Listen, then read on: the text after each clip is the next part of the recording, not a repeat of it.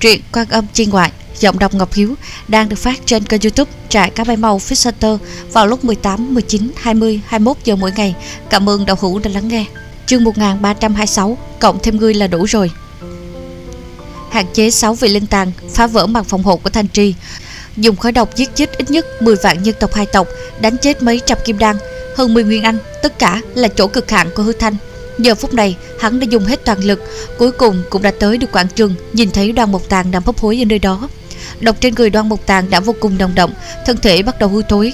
Sau khi trông thấy hư thanh, lão mở to miệng muốn nói gì đó, nhưng đã không còn khí lực. Hư thanh nở nụ cười, giơ tay phải lên vỗ một cái vào trên thân Đoan Mộc Tàng. Độc trong cơ thể Đoan Mộc Tàng lập tức rời khỏi thân thể, bay thẳng đến trên người hư thanh. Đồng thời còn có một đạo chiêu hạt quang rơi vào trên người Đoan Mộc Tàng, ngăn cách độc cấm cùng với cấm chế ràng buộc tái diệt còn sót lại bốn phía. Sau một khắc, thân thể Đoan một Tàng rung lên, theo độc biến mất, theo ràng buộc tiêu tán, tu vi của lão cũng bắt đầu khôi phục, chỉ là thương thế quá nặng, giờ phút này lão chỉ có thể giải dụa ngồi dậy, cười khổ nhìn Hư Thanh. Người không nên tới. Lão nhìn thấy Hư Thanh gọi ra Tử Nguyệt bay lên lúc trước, nhưng giờ phút này lão không hỏi một câu liên quan nào. Hư Thanh thở hổn hển, ngồi ở bên người Đoan Mộc Tàng, hắn cảm nhận được chấn động bốn phía, biết rõ chuyện xảy ra ở nơi này đã bị những cường giả hai tộc bên trong sương mù phát hiện, giờ phút này đang hội tụ đến đây, có lẽ không cần bao lâu bọn họ sẽ xuất hiện, mà trong tối tăm bên phía Thương Long cũng truyền đến âm thanh thê thảm, hiển nhiên nó cũng sắp không cách nào hạn chế sáu vị linh tàng kia nữa, đã đến cực hạn. Tử Nguyệt phối hợp thiên đạo, thậm chí ngay cả một nén nhang cũng không thể hạn chế, có chút vô dụng. Hứa Thanh thở dài, ngẩng đầu nhìn bầu trời, xích mẫu ngủ say khiến cho hắn có thể không cần băn khoăn phóng thích lực lượng tử nguyệt như trước, vì chỉ có thần điện ở nơi đây là hắn cần phải cảnh giác. Nhưng có thiên đạo cùng với độc cấm che lấp, chỉ cần không phải bộc phát ngay ở trước mặt người ta, hết thảy đều tốt. Vì vậy, Hứa Thanh nhìn qua Đoan Mộc Tàng. "Uống rượu không?" Nói xong, hắn lấy ra hai bầu rượu, ném cho Đoan Mộc Tàng một bầu. Chính mình cầm lấy một bầu, ngẩng đầu uống một hơi. Một khắc, Đoan Mộc Tàng tiếp nhận, bầu trời xa xa truyền đến tiếng nổ vang, vài tiếng rung chuyển bát phương để cho bầu trời biến sắc gào thét như gió bão truyền đến. Mặt đất chấn động, toàn bộ thành trì đều đang lay động, khói độc bao phủ nơi đây cũng phiêu động, như muốn bị thổi bay ra khỏi phạm vi thành trì. Thương Long kêu rên, thân thể tan vỡ. Giờ phút này, sáu vị linh tàng bên trong cơ thể nó đã thoát khốn ra ngoài. Sau khi xuất hiện, thân thể bọn họ riêng phần mình đều có nguyền rũ khôi phục, nhưng bị cưỡng ép đè xuống, mà thành trì khô héo cùng với rất nhiều tộc nhân tử vong, hết thảy hạo kiếp phía trước khiến cho tâm thần bọn họ dâng lên phẫn nộ ngập trời. Vì vậy, liền riêng phần mình thi pháp, trong khoảng thời gian ngắn, không ngừng có tiếng nổ vang kinh thiên động địa truyền ra, biển lửa bị trấn áp, sương mù lay động, lão tổ Kim Cương Tông nhanh chóng trở về, tộc nhân còn sót lại bên trong hai tộc cũng dâng lên hy vọng trong lòng. Mắt thấy một màn này, trong mắt Đoan Mộc Tàng lộ cho quyết đoán, cầm hồ lô rượu trong tay, uống một ngụm lớn, vừa muốn đứng lên đã bị Hứa Thanh đè xuống. Không gấp. Hứa Thanh cười nói, nhìn thấy nụ cười trên người Hứa Thanh, còn cả những con lệ quỷ tan vỡ và cắn xé trên người hắn, tim Đoan Mộc Tàng cũng đập nhanh lên, nhìn không được mở miệng. Những thứ trên người ngươi này cũng không phải là thân thể của ta, không sao cả, cứ tùy tiện cắn. Những lời này vừa ra, bên trong nhà tù 132 trong khu đinh cơ thể Hứa Thanh liền truyền đến chấn động, nhưng rất nhanh lại biến mất. Hứa Thanh không có để ở trong lòng, nhìn bốn phương, trong miệng nhẹ giọng mở miệng. Tiền bối, nhân tộc bên trong thành trì, ta đã cứu hơn phân nữa, nhưng vẫn còn một số, ta bất lực. Đoan Mộc Tàng trầm bặt, than nhẹ một tiếng. Giờ phút này, sương mù bốn phía cuộn mình, sau khi sáu vị linh tàng xuất hiện trên bầu trời, từng trận gió lớn gào thét quét ngang bát phương, cuối cùng khiến cho bão cát khói độc nơi đây dần dần bỏng manh rời khỏi phạm vi thành trì. Mà Kim Ô cũng đã tận toàn lực, giờ phút này đã trở về, thiên hỏa bên trong thành trì cũng đã bị dập tắt, tất cả khiến cho toàn cảnh của thành trì hiển lộ ra bên trong trời đất. Thả mắt nhìn đi, thành trì đã là 10 không còn 3, hơn phần nửa kiến trúc đều đã sụp xuống, có rất nhiều nơi bị ngọn lửa thiêu hủy, có rất nhiều nơi bị dị thú phá vỡ, nhưng nhiều hơn nữa là đã trở thành bụi bặm ở dưới độc cấm. Về phần thi thể, ngược lại rất ít, bởi vì tất cả người chết đều khó thoát được độc phát, trở thành bóng loãng, sau đó là bị nhiệt độ cao xóa đi dấu vết. Vì vậy mùi ở nơi đây khó ngửi vô cùng, tiếng khóc, tiếng kêu rên, tiếng gào thét phẫn nộ không ngừng vang vọng. Nhìn qua hết thảy, những tộc nhân hai tộc còn sót lại, thân thể từng người run rẩy, phẫn nộ sớm đã ngập trời, mà sáu vị linh tàng trên bầu trời càng là trong mắt đỏ thẫm. Nhìn toàn bộ quảng trường, nhìn Hứa Thanh ngồi ở chỗ kia uống rượu. Người rốt cuộc là ai? Ta là thần sứ của các ngươi. Hứa Thanh ngẩng đầu nhìn lên bầu trời, nhàn nhạt mở miệng. Sáu vị linh tàng trầm mặt, nguyên rủa trong cơ thể bọn họ khôi phục không phải là giả, mà thật ra cho đến bây giờ, bọn họ đã đại khái đoán được thân phận của Hứa Thanh. Thần sứ ngoại dực Đáp án này khiến cho trong lòng bọn họ dâng lên nghẹn khuất, trong mắt từng người đều đồng động sát cơ. Khí tức của bọn họ ảnh hưởng tới bầu trời, khiến cho sấm sét cuồn cuộn, đầy trời áp lực, cuối cùng hóa thành vòng xoáy cực lớn, hình thành ra sáu gương mặt trong đó.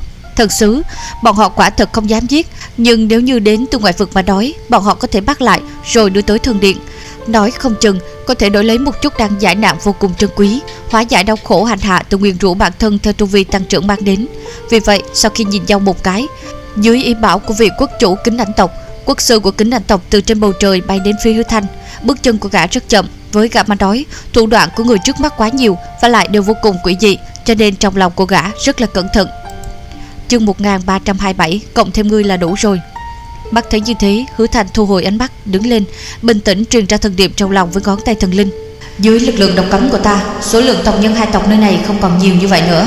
Và lại có tử nguyệt xâm nhập, còn có lực lượng thiên đạo, thịt cũng không còn nhiều như trước đâu. Bây giờ ngươi không ăn, về sau có đói hơn cũng không có được ăn nữa. Ta sẽ lưu lại tiếng nguyệt đại vực rất lâu đấy. Ta ngủ, ngủ rồi sẽ không đói bụng. Ngón tay thần linh gạo nghễ, cố nén đói khát, khinh thường nói. Có phải ngươi dự định lấy sinh tử của bản thân ra để uy hiếp tai không? Ta nói cho ngươi biết, không có tác dụng. Xích mẫu đã ngủ say, trong thời gian ngắn sẽ không thức tỉnh. Mà chiêu này của ngươi đã từng dùng rất nhiều lần rồi, ta cũng đã nhìn ra. Tiểu tử ngươi cũng sợ chết, làm sao? Muốn chết cùng chết, ta chết cũng không ăn. Hứa Thanh nghe vậy, mặt không cảm xúc, mắt nhìn quốc sư kính hành tộc trên bầu trời đi tới, hắn giơ tay lên, lấy ra lệnh bài truyền tống cổ linh hoàng đưa cho hắn. Nháy mắt khi khối lệnh bài kia xuất hiện Ngón tay thần linh run run một chút Nhanh chóng mở miệng Người muốn làm gì Ta chuẩn bị đưa bọn chúng đến chỗ cổ linh hoàng để tế hiến Hứa thanh nhàn nhạt truyền âm, Đi đến trên bầu trời, Trong mắt lộ ra quyết đoán. Cổ linh hoàng không phải đã nói lần sau Ngươi sẽ đến và tế hiến một tàn thần sao? Chút linh tàn này không đủ nha. Ngón tay thần linh sững sờ, Đáy lòng dâng lên cảm giác bất an. Cộng thêm ngươi là đủ rồi. Hứa thanh lạnh như băng, mở miệng. Nói xong, hắn đã bay lên trên bầu trời. Ngóng nhìn quốc sư kính ảnh tộc bay đến. Trong lòng vang vọng tiếng hoảng sợ, thét lên của ngón tay thần linh. Ngươi ngươi, cái đồ không có lương tâm này, ta đã cứu ngươi bao nhiêu lần rồi đó ngón tay thần linh bi phẫn nó cảm thấy mình tính sai rồi nghĩ đến ánh mắt cùng với âm thanh nuốt nước miếng đáng sợ của cổ linh hoàng khi nhìn chính mình lúc trước nó liền không rét mà rung vì vậy bi thương giống to một tiếng chút việc nhỏ này cần gì phải phiền phức đến linh hoàng đại nhân chứ để ta tới Nói xong, ngón tay thần linh lao ra khỏi bên trong nhà tù 132 khu đinh, mang theo nghẹn khuất, mang theo oán giận. dư hư thanh gầm đồng ý, lập tức tràn ngập toàn thân hư thanh. Trong chốc lát, một cổ chấn động thần linh ngập trời, vượt xa lúc trước, bốc lên trên người hư thanh. Giờ khắc này, màn trời lờ mờ đột nhiên cuồn cuộn lên, tạo thành một cái vòng xoáy thật lớn, âm âm chuyển động, tản mắt ra khi thế trấn áp thiên địa. Thần sắc của sáu gương mặt do linh tàng hai tộc hình thành lập tức đại biến, mà bước chân của quốc sư kính ảnh tộc cũng chợt dừng lại, trên mặt lộ ra hoảng sợ, đây là không thể nào! Đám người bọn họ cực kỳ hoảng sợ Biến hóa đến từ trên người hư thanh Khiến cho thiên địa biến sắc Bát phương đổ vang.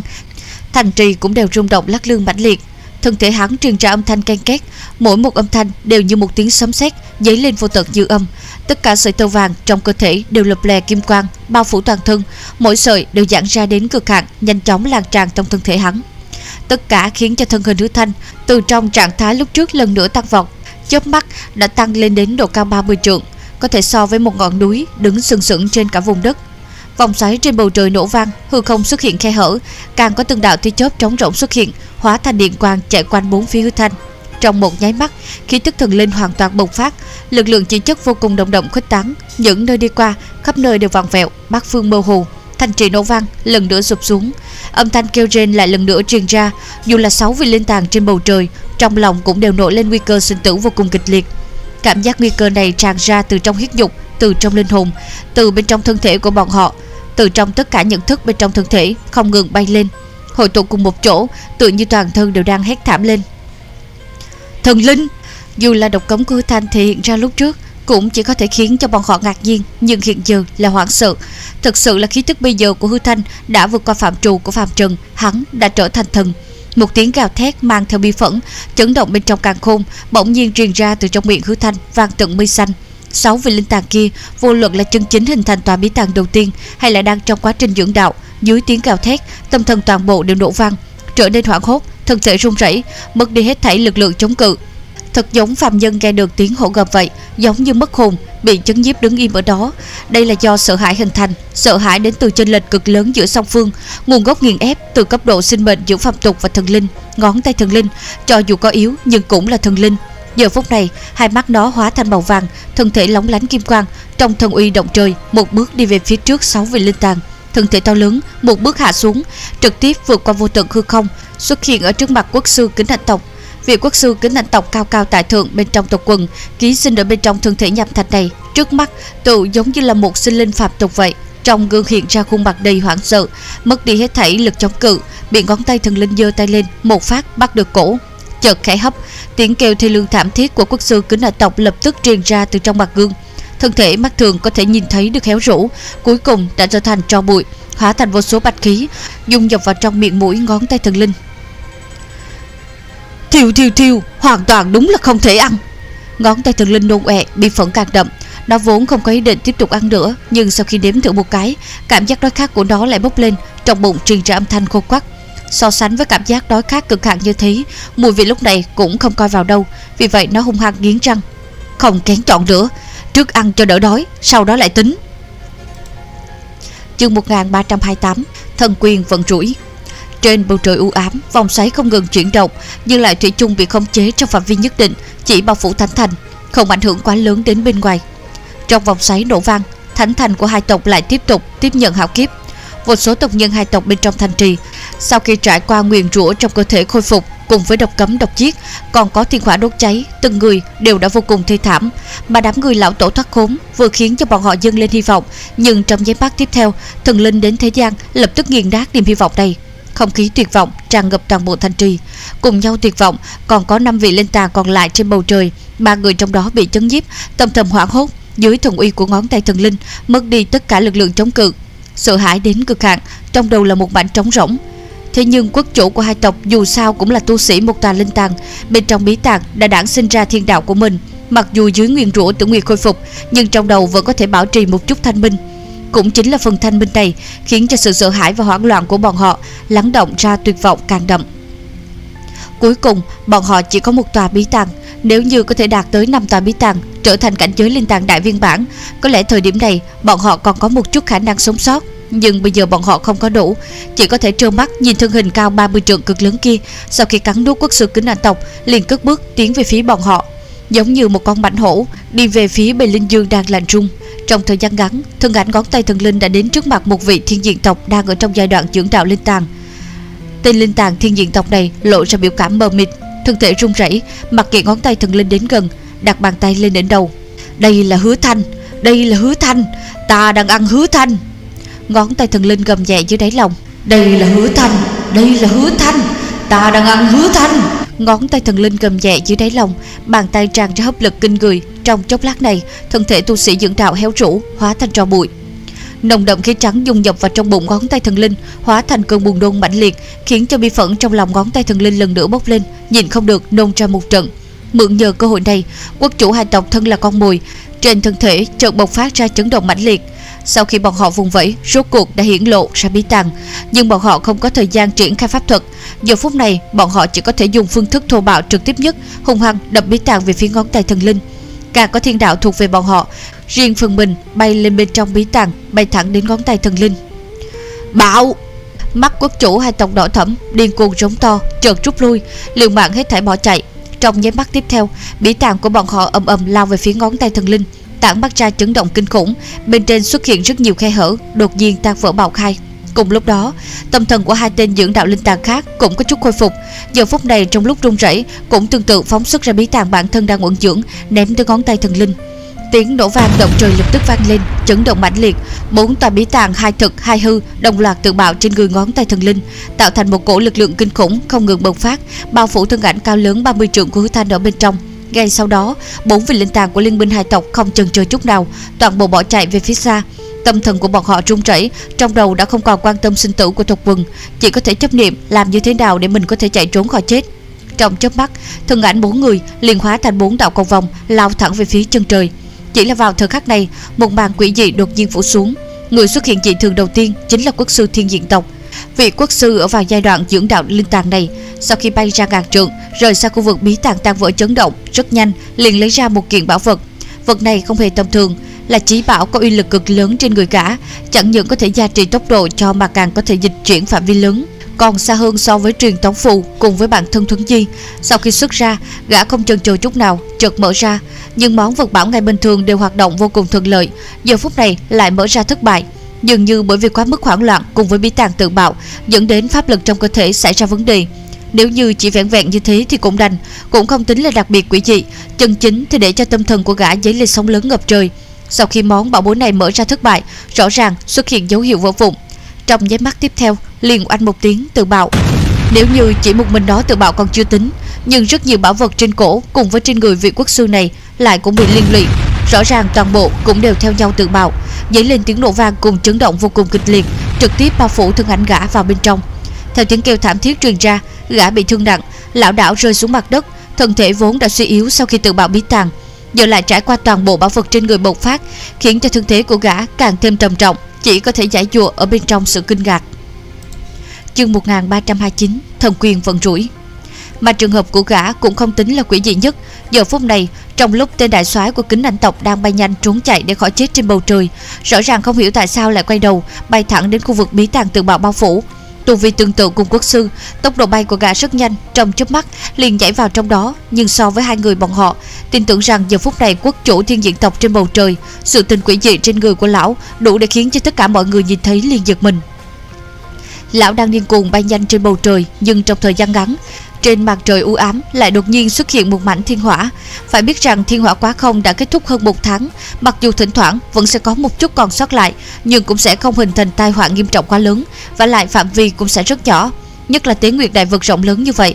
Tỷ lệ những thứ thiên hỏa này còn sót lại rơi vào đúng nơi có người cư trú là phi thường nhỏ, nhưng hôm nay thiên hỏa xuất hiện ở trên bầu trời rõ ràng lên tới phạm vi mấy trăm trượng, và lại càng đúng lúc lộ ra trên ngay đỉnh đầu của quốc chủ thiên diện tộc lập tức nện xuống. Lực lượng thiên hỏa kinh người nổ vang phủ xuống, mà bản thân vị quốc chủ thiên diện tộc kia cũng không tầm thường. Sau khi tự bạo bí tàng, chiến lực rõ ràng vẫn còn giữ lại hơn phân nửa. Giờ phút này trong lúc tim đập nhanh chợt lao ra, mặc dù vẫn bị liên lụy một chút, thân thể đốt cháy phát ra âm thanh kêu rên, nhưng đúng là vẫn còn có thể Hiểm lại càng thêm hiểm mà tránh đi Nhìn qua thiên hỏa hạ xuống, Trong lòng vị quốc chủ thiên diện tộc này vô cùng ngạc nhiên. Nhưng vào lúc này, Việc quỷ dị trên người lão vẫn chưa kết thúc. Bên trên bàn trời không hiểu tại sao Lại xuất hiện vô số thiên lôi, Nổ vang đánh về phía lão. Số lượng rất nhiều, Trọn vẹn hơn vạn. Loại chuyện này trên căn bản là không thể nào phát sinh xác suất quá nhỏ, nhưng giờ phút này lại thực sự xuất hiện. Con người của quốc chủ thiên diện tộc co rút lại điên cuồng chống cự. Trong liên tiếp những tiếng nổ vang, lão phun ra máu tươi, thân thể lão đảo rốt cuộc chạy ra khỏi phạm vi sấm sét. Nhưng không đợi lão thở ra một hơi, thân thể của lão lại đột nhiên đình trệ trên không trung, sắc mặt khó coi, trong mắt lộ ra mờ mịt. Chậm rãi cúi đầu nhìn thân thể đang nhanh chóng héo rũ của mình. Giờ phút này, nguyên rũ khôi phục vốn dĩ đã bị áp chế trong cơ thể bởi vì bí tàng tự bạo bởi vì hết thảy chấn động liên tiếp xảy ra vừa xong, đột nhiên bộc phát ra tràn ngập toàn thân Nguyền rũ của xích mẫu hẳn phải chết không thể nghi ngờ trong giây mắt tiếp theo, thân thể của lão nhanh chóng héo rũ, trở thành tro bụi Trước khi chết, Lão đưa mắt nhìn những người khác, Những người khác đều chưa bị một màn này khiến cho trong lòng quốc sư thiên diện tộc đang vùng vẫy trên mặt đất càng sợ hãi và hoảng loạn đạt đến cực hạn. Giận rủi. Một khắc tiếng kêu này truyền ra, một cổ lực lượng truyền tống tản ra từ một phương hướng khác trên bầu trời, đó là quốc chủ kính ảnh tộc. Lão đang dùng hành động để phá vỡ vật chuỗi, thấy mà lại không có bất cứ gì thường nào, bóp nát truyền tống phù cự ly xa, trong chốc lát liền tan biến khỏi bầu trời. Mà sau hết thảy Ngón tay thần linh lại tản ra thần uy. Thân hình cao lớn 30 trượng đi ra từ bên trong chấn động do bốn tòa bí tàng tự bạo.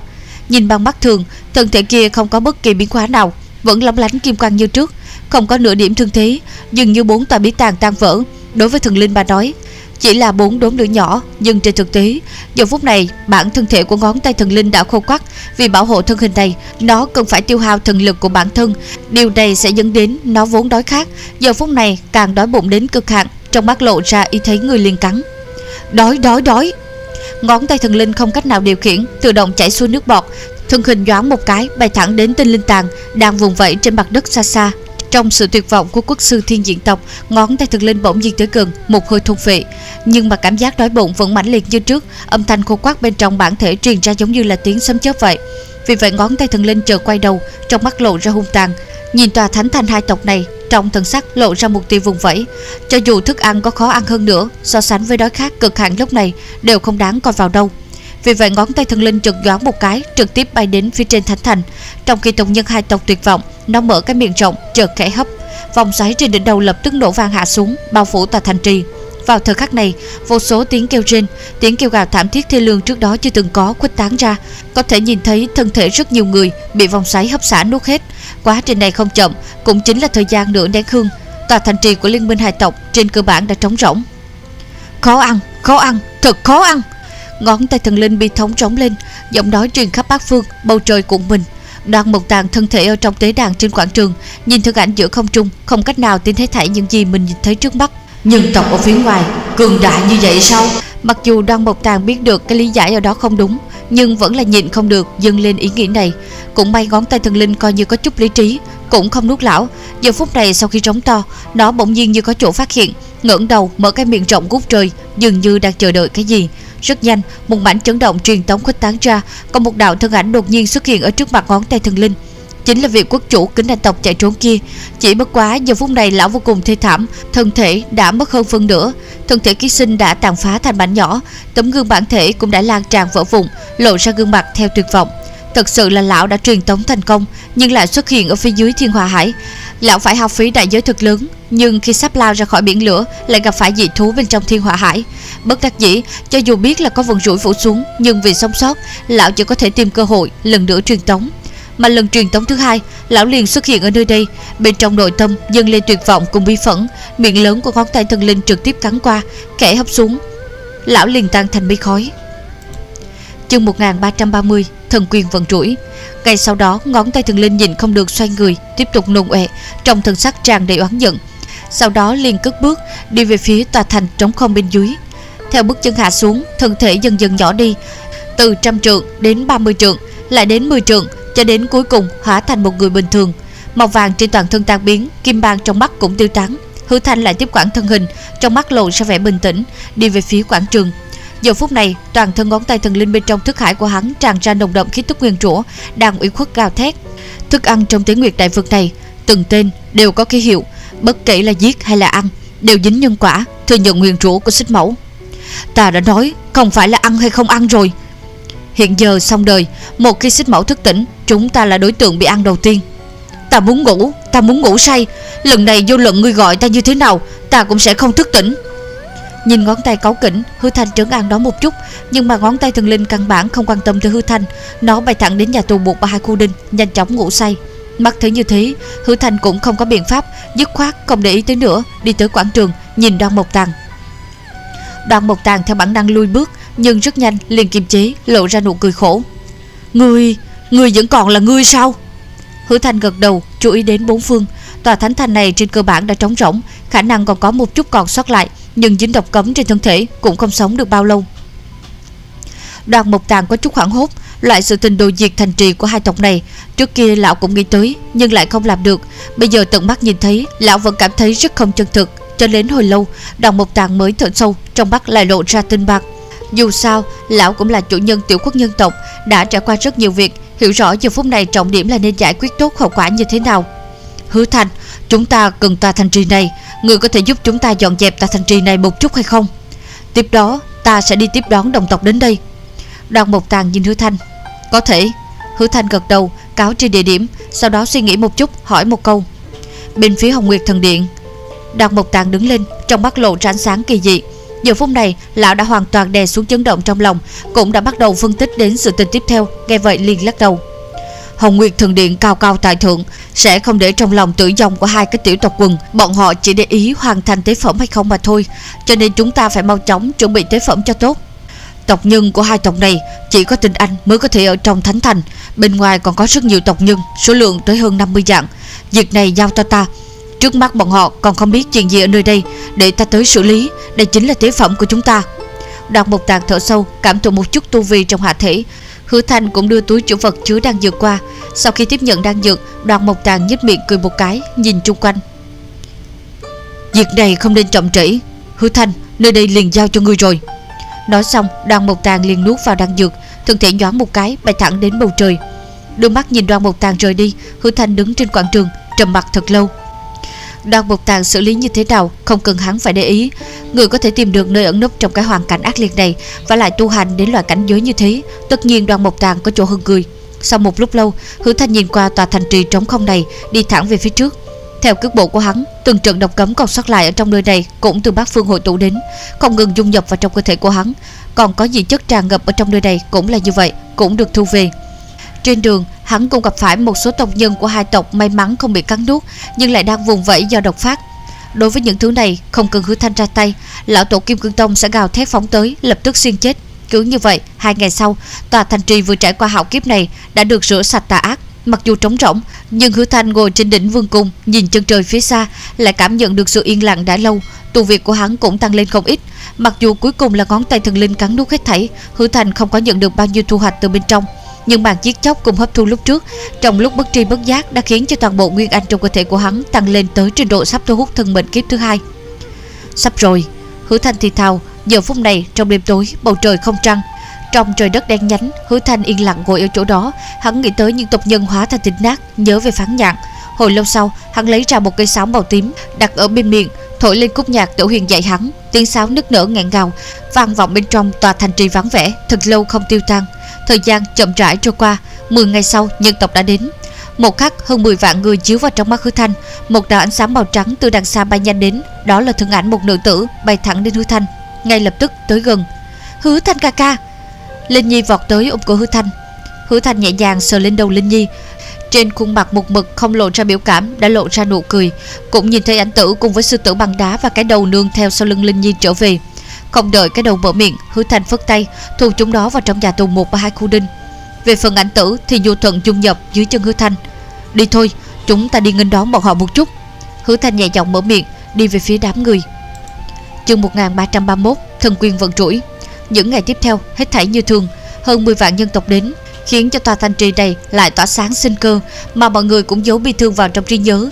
Tương lai và hy vọng Hóa thành hạt giống sinh trưởng trong lòng bọn họ. Mọi chỗ kiến trúc sụp xuống được tu sửa. Từng mảnh từng thành đổ xuống được xây lại. Dần dần, tiếng cười nói bắt đầu dào dạt bên trong tòa thành trì này. Dần dà tiếng hoang hô réo lên trên từng con đường. Cũng khoảng một tháng sau, Đoàn Mộc Tàng đã trở về. Không biết lão đã làm như thế nào, Lúc trở lại, Phía sau của lão có hơn 1.000 cái lồng giam thật lớn. Trong đó đều là nhân tộc hai tộc, Cũng bị trồng chất như là hàng hóa. Bởi vì thân hình thiên diện tộc khổng lồ, Cho nên số lượng lồng giam hơi nhiều, Nhưng mà nhìn tổng thể, Số lượng tế phẩm là hơn 50 vạn vẻ mặt tuyệt vọng, Ánh mắt chết lặng, Giống như đúc với nhân tộc bị bọn họ coi làm thức ăn lúc trước. Đối với những tộc nhân hai tộc này, Hứa Thành không chút thương cảm nào. Bọn họ cứ như vậy bị đặt ở bên ngoài thành trì, Chờ đợi vận mệnh phủ xuống. Mà đoàn một tàng trở về Cũng khiến cho tốc độ khôi phục của tòa thành trì nhanh hơn. Dần dần, Trận pháp cũng được sửa chữa để hồi phục cơ bản, Lại được mở ra. Theo màn phòng hộ bao phủ, Hơn 10 vạn nhân tộc truyền ra tiếng hoang hô, Linh Nhi cũng tương tự tung tăng ở bên trong. Đối với dân tộc sinh hoạt bên trong đường hầm mộ địa khi trước, Sinh hoạt trong cảnh nghèo khổ, Thời khắc sẽ trở thành thức ăn mà nói. Đây là cảm giác an toàn đã lâu không có. Nhìn qua những thứ này, Hứa Thanh ngồi trên tường thành, Thầm chúc phúc trong lòng. Sau đó, nhìn về chân trời phương xa, Hắn phải rời đi rồi. Đáng tiếc, ta vẫn không có cách nào cởi bỏ nguyền rủa cho bọn họ. Hứa thanh thì thào trong lòng, Quay đầu nhìn tới bên cạnh. Thân ảnh đoan mộc tạc mơ hồ hiện lộ ra ở đó, Dần dần rõ ràng. Lão ném cho hứa thanh một bầu rượu, Ngồi ở một bên, nhìn đám người, Thần sắc lộ ra cảm khái. Hứa thanh, cảm ơn ngươi. Sau một lúc lâu, Lão nhìn qua hứa thanh Dài giọng mở miệng. Hứa thanh lắc đầu, uống bầu rượu trong tay. Đây là việc ta phải làm. Ánh mắt đoan một tàng thâm sâu, Liếc mắt nhìn Hứa Thanh, Cũng không tiếp tục cái đề tài này, Cũng không hỏi đến sự tình nhìn thấy hôm ấy. Lão đã tự động lựa chọn quên đi những chuyện kia, Bởi vì lão biết rõ, Mỗi người đều có bí mật riêng của mình. Có một số việc không cần hỏi, Cũng không cần tìm hiểu. Đúng rồi, về phía môn đồ Ta đã thăm dò giúp ngươi rồi. Tung tích của bọn đó bây giờ phần lớn đều hội tụ Ở khu vực trung tâm phía đông Cũng chính là nơi Hồng Nguyệt Thần Điện Chờ đợi các tộc đưa tế phẩm đến. Dù sao đối với môn đồ mà nói Thời điểm này chính là mùa làm ăn thịnh dưỡng của chúng đó Đoàn Mộc Tàng uống một hớp rượu Truyền ra lời nói. Hứa Thanh nhẹ gật đầu. Lúc trước hắn đã hỏi qua đoàn Mộc Tàng Về sự tình truyền tống trận phạm vi lớn. Hắn muốn đi tới Thiên Ngưu Sơn mà ngọn núi này lại nằm ở phía nam Tế Nguyệt Đại Vực, Khoảng cách với nơi này vô cùng xa xôi. Mà sau khi hứa thanh đi đến Thiên Hòa Hải, Chưa bao giờ thấy qua truyền tống trận giống như ở phong hải quận. Coi như là tòa thánh thành này cũng đều không có. Chỉ có các loại vật phẩm như truyền tống phù, Nhưng phần lớn đều là loại vô tự truyền tống phù. Dù chỉ truyền tống phạm vi khá gần Và không xác định được nơi đến, Cho nên hắn đã hỏi thăm qua đoàn Mộc Tàng. Đối phương kiến giải là bên trong tế nguyệt đại vực, Chỉ có đại tộc mới có thể nắm giữ truyền tống trận cố định. Mà nói như vậy, Muốn truyền tống thì cần nhờ tới môn đồ. Môn đồ là một cái tộc quần đặc thù, Lúc bọn họ sinh ra sẽ có cánh cửa cộng sinh. Tộc này cũng không có chỗ cư trú cố định. Sau khi từng tộc nhân thành niên, Đều sẽ ra ngoài để du lịch đại vực. Thiên phú của bộ tộc này Đó là có thể khắc nơi mình từng đi qua Và bên trên cánh cửa của chính mình. Có thể cho người khác mượn cái này để truyền tống Căn cứ tu vi mạnh yếu, Phạm vi cũng không giống nhau. Đây là nghề nghiệp của tộc ấy, Mỗi khi Hồng Nguyệt Thần Điện bắt đầu thu tế phẩm những tộc quần không có truyền thống trận Chính là khách hàng của môn đồ. Cho nên, Người có thể đi cùng với ta tới phía đông. Mấy ngày gần đây, ta cũng phải xuất phát, Chuyển giao những cái tế phẩm bên ngoài kia tới thần điện. Hứa Thanh nghe vậy, liền trầm ngâm. Từ nơi này đến Thiên Ngưu Sơn, Nếu như không có truyền thống trận, Thời gian hao phí rất lâu Và lại giữa đường, còn có thể xuất hiện một chút biến cố không biết. Huống hồ lúc này cũng đã lố qua thời gian ước định giữa hắn và Đại Sư Huynh. Hai bên là không liên lạc được với nhau, Vì vậy sau khi suy tư Hứa Thành cảm thụ tử nguyệt trong hạ thể một chút, Nghĩ đến thần điện trong thấy lúc trước. Đối phương cũng không có chỗ phát hiện đối với chính mình, Cho nên nhẹ gật đầu. Cứ như vậy, sáng sớm 3 ngày sau, Hứa Thành mang theo Linh Nhi Cùng với đoàn Mộc Tàng và đoàn xe lồng giam cùng nhau xuất phát. Một khắc rời khỏi thành trì, Hơn 10 vạn người trong nội thành không hẹn mà cùng bước ra. Toàn bộ đều quỳ bái từ xa về phía Hứa Thành Trong mắt của bọn họ mang theo chúc phúc, Bọn họ cầu nguyện Hứa Thanh có thể lên đường bình an. Hứa Thanh quay lại, Ngóng nhìn về phía sau, Lòng có nhận biết, Chắp tay cúi đầu. Bầu trời u ám, Bão cát cuốn lên, che đậy tầm nhìn, Nhưng không cách nào ngăn cách hy vọng bay lên bên trong tòa thành trì này. Hứa Thanh quay người, Cùng đoàn xe đi xa. Gió lớn thổi tới, Pha thêm giọng nói khàn khàn của đoan mộc tàng. Hứa Thanh, Tế Nguyệt Đại Dược có một cái truyền thuyết. Truyền thuyết nói rằng bởi vì lời nguyền rủa tồn tại, Cho nên hết thảy chúng sinh tử vong, Tồn tại của bọn họ đều không thể tiến vào luân hồi, Mà sẽ trở về Hồng Nguyệt Thần Điện. Cho đến khi sinh mẫu đến hưởng dụng thế phẩm, Những linh hồn này sẽ có tư cách là hạt giống Lại chuyển thí cứ như thế vòng đi vòng lại, Nơi đây mới được gọi là vườn chăn nuôi của Hồng Nguyệt. Người sinh hoạt trong vực này Đời đời kiếp kiếp Đều phải thừa nhận đau khổ, Không thể thoát khỏi tiếng nguyệt đại vực. Cho nên, mặc dù phán dạng chết, Nhưng hồn của nàng, khả năng vẫn còn ở trong thường điện. Chương 1332 Ước định dưới thiên hỏa hải. Gió lớn, nước nở nghẹn gào vang vọng trên tuyến nguyệt đại vực hoang vu. Gió thành giai điệu bi trắng giống như đang kể lại quá khứ xa xôi. Bão cát dưới lên, tràn ngập thiên địa. Giao hòa cùng với sắc trời u ám thành một khối, không phân biệt lực lẫn nhau.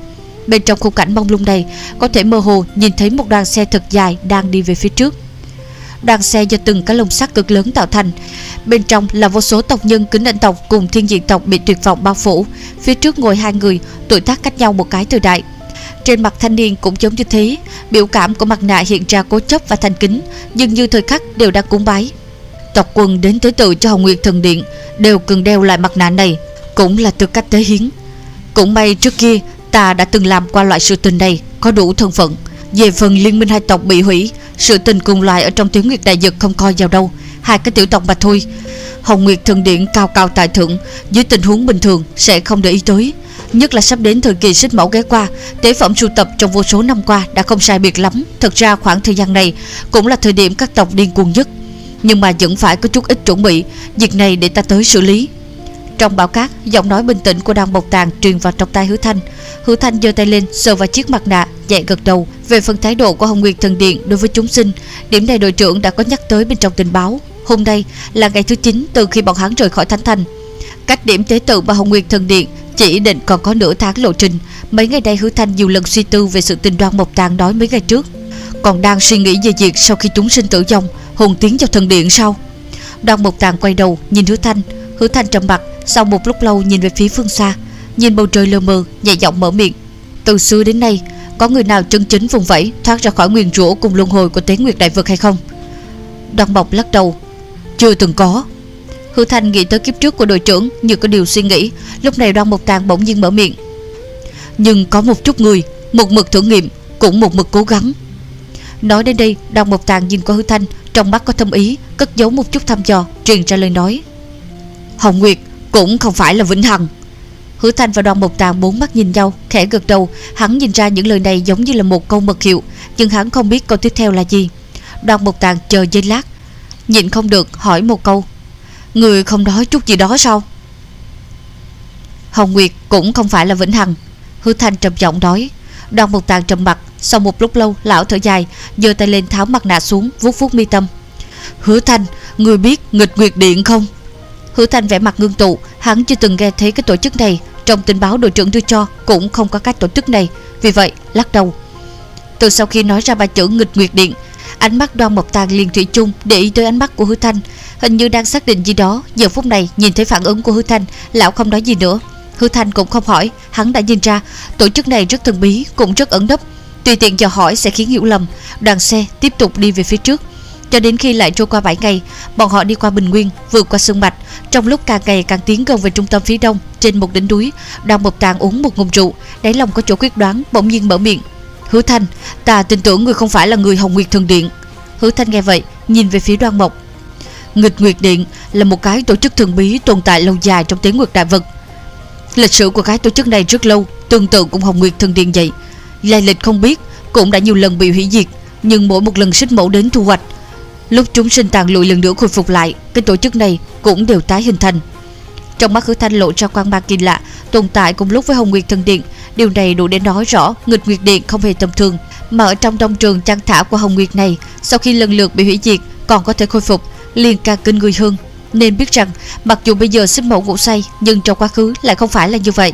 Giọng nói của Đan Mộc Tàng lần nữa truyền đến. Nghịch Nguyệt Điện hội tụ toàn bộ những người trong lòng muốn vùng vẫy phản kháng bên trong tiếng Nguyệt Đại Vực, Giấc mộng của bọn họ.